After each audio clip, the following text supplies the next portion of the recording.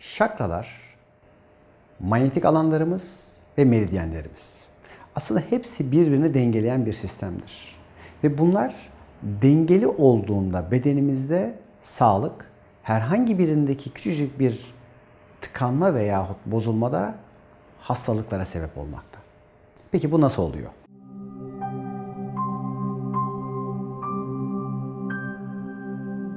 Ruhumuzdan, özümüzden gelen ışık beden kristaline geldiği anda aslında çeşitli tayflara ayrılıyor.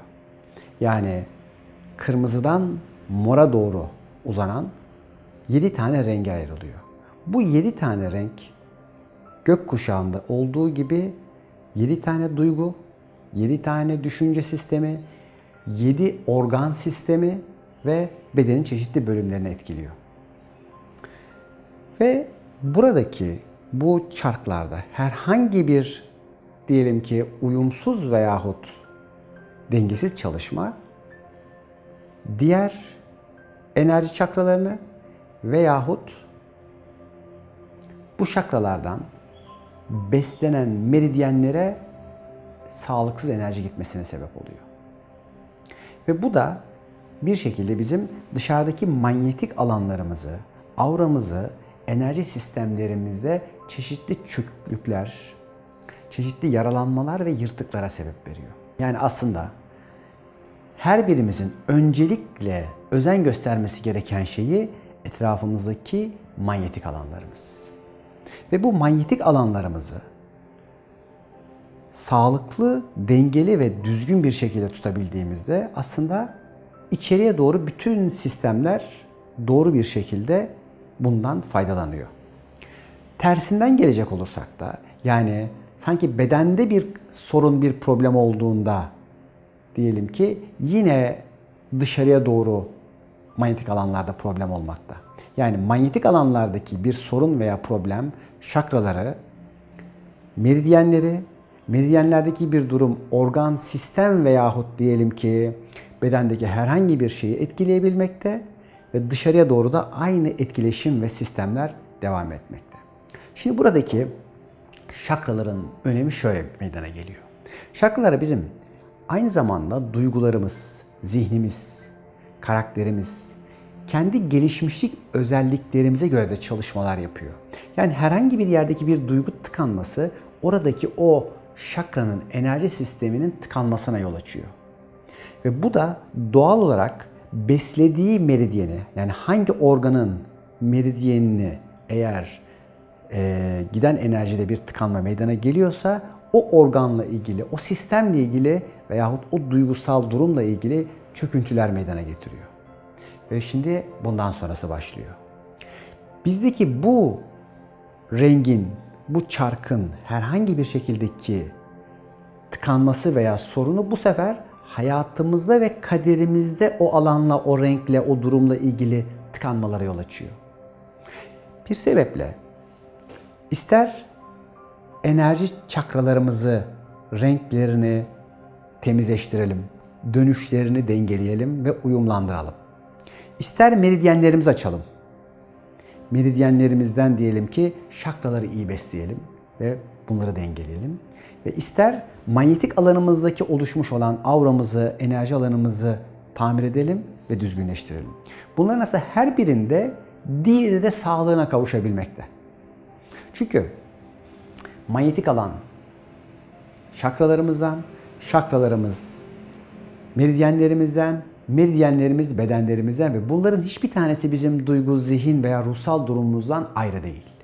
Yani bir şeyi aslında gerçekten fark ederek düzelttiğimizde, oraya gerçek bir dokunuş yaptığımızda o alanla ilgili şifalanabiliyoruz. Şifa başlıyor. Gelin şimdi şakralarla ilgili bunu nasıl yapacağız? Örneğin kırmızı kök şakramız. Eğer hayatla ilgili bir köklenme sorunumuz varsa, yani dünyadan yeteri kadar beslenemiyorsak, dünyanın nimetlerini alamıyorsak, kabullenemiyorsak, dünyaya itirazlarımız varsa, dünyanın çeşitli yasalarını, sistemlerini, otorite sistemini beğenmiyor ve buna itiraz ediyorsak aslında kökle, dünya ile yeteri kadar beslenemiyoruz. Dünya bizi besleyemiyor. Bu sefer ya aşırı kilo problemleri ya aşırı incelik meydana gelebiliyor. Buradan beslenememek bizim kemiklerimizi besleyememek, kanımızı besleyememek. Yani sert ve kırmızı olan vücudumuzdaki çeşitli sistemlere etki yapıyor. Ve kökle ilgili herhangi bir bozukluk bizi çok kaba, küfürbaz yapabiliyor. Özellikle e, kibar olmayan eğer dostlarınız varsa bilin ki onların köklenme problemi var.